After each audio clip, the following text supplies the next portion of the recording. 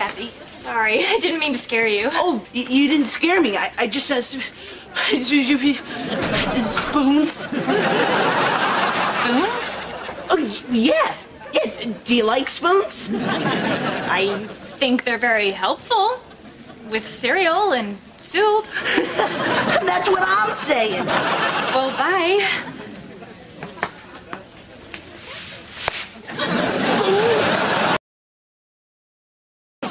Josh, what's wrong? She thinks I'm an idiot. Kathy? Yes. Did you say spoons again? Yes. Look, don't freak out. Next time, just try to have a conversation that doesn't involve silverware.